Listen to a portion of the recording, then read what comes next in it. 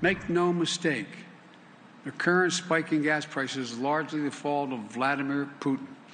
It has nothing to do with the American Rescue Plan. Well, we've seen the price of gas go up at least 75 cents since President Putin lined up troops on the border of Ukraine. Make no mistake, inflation is largely the fault of Putin. They're the facts. Democrats didn't cause this problem. Vladimir Putin did. People are already, already feeling Putin's price hikes at the pump. It's Gonna go up. Can't do much right now. Russia's responsible.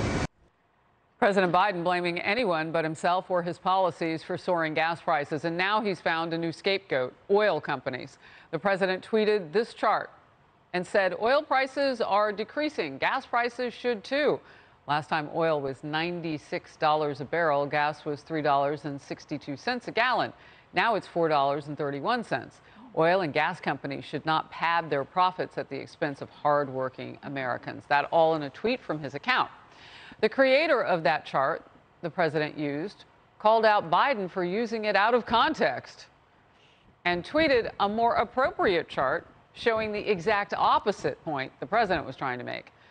Meanwhile, Americans are struggling at the pump and dealing with record high inflation. Energy Secretary Jennifer Granholm used the deadly crisis in Ukraine to push clean energy policies.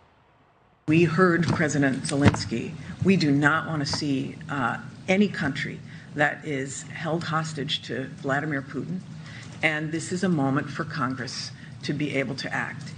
There can be a compromise, there can be movement on this. This is a moment to have this happen. It's an urgent moment.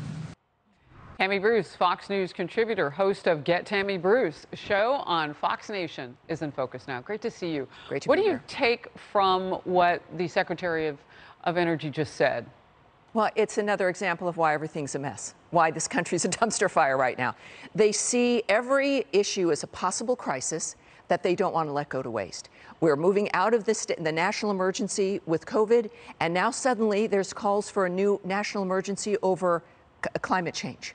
So this is a dynamic where they see as possible to nudge Americans, which is a Democrat theory brought by Sunstein. There's a book about it, where you create environments that move the American people into the, the direction you want to have them go.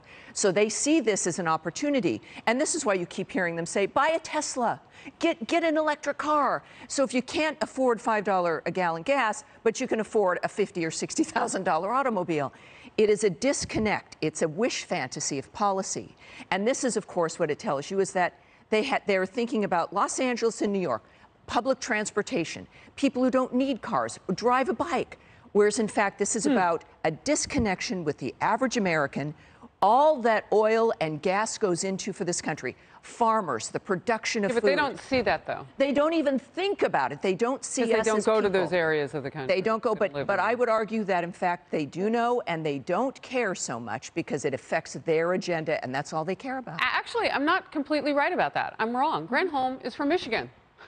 She- yeah, absolutely, she gets it because that's She where knows. Michigan's line line five is, which affects about five or six states if they cut that line. And the That's correct. administration was looking at stopping the pipeline movement of oil there just a few months ago. All these that was on the know. short list. So I'm wrong. There are some of them who come from those areas. They, they do, and And they still don't get it. And even Joe Biden, he's been in politics for half a century. He was he knows about the Jimmy Carter years. Some of us grew up in those years.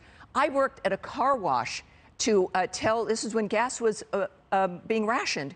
They hired me as a little kid. I was 12. To go to the when everybody had to choose their day based on their license plate to get gas. If an adult went out to tell a man to get out of that line, a fight would start. So they sent a little girl, me, to tell them that it wasn't their day. And I watched grown men cry because they wouldn't be able to get to work, they would lose their jobs. That informed a lot of my current politics about the power hmm. of government, the economy, gas, but even more so, inflation. Parent, people are now having to decide on gas or food. We ration food in my household because I was lower middle class to poor on welfare. You couldn't eat certain things, you had to eat only a certain portion. Americans remember this. It is only my generation, it was not that far, far ago. And, and I think that Americans understand about petroleum and oil. Over 150 products are affected by petroleum tape, basketballs, sneakers, skis, clothing, all kinds of things are affected. So when you double up on that inflation, everything changes. And of course, food, because of tractors and production of food. It's obscene that this government refuses to change it with a warp speed type operation to get our own energy I- I've to been- save the American people. I've been talking about that. I know Senator Blackburn of Tennessee has been talking about. I mean, we can do this because we did. And by the way, those vaccines that came along, Operation Warp Speed, still being talked about as the best in the world right now. Yes. All right, let's move to this. Senator Elizabeth Warren, probably not surprising anybody by saying this. What's happened is these companies have said, you know, we'll pass along costs, but while we're at it and everyone's talking about rising costs, let's just add an extra big dollop of cost increases to expand our profits. Your response. Well, you know, if anybody's expanding their profits right now, it's the government. It's about the taxes that they refuse to remove from, from the price of gasoline, both at the state and the federal level, uh, the, the nature of inflation itself. 10% from year to year, from February to February, 10% extra in the cost of everything for America. It's like $300 a month for American households right now, is That's what right. it's breaking down and that's courtesy of the Elizabeth Warrens of the world. Make no mistake, she's in there, she's a politician. Of the Joe Bidens, of the Granholms, of the Clintons, of everybody in this system, that you're going to pay for it and you're going to join the military and go into whatever new shooting war we have. And in the meantime, you can't put food on the table. And, and she has she dares to deflect from their responsibility. It was always everybody else's fault. Now the oil companies, Biden last year blamed it on meat companies. All these businesses are evil and mean. Uh, the people. They blamed the truckers. the truckers for the supply. That's chain right. crisis that we had. The American people, because we want too much, and you know, you, you, suck it up. That we got to just suck it up, and it's, paying an extra dollar for things is worth world peace. Let me tell you something. We are now close to a shooting war. Children are dying and being bombed by Russia.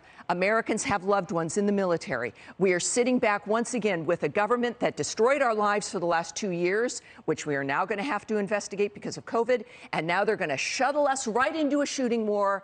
And they point fingers at us as being the problem. These are the same people who've controlled our lives during the pandemic. And now they're going to twist us to move us into a shooting war and into, into rationing food in our own homes. How dare they? This is what has to change in November. Not that I have an opinion, Madame. well, we got Tammy Bruce.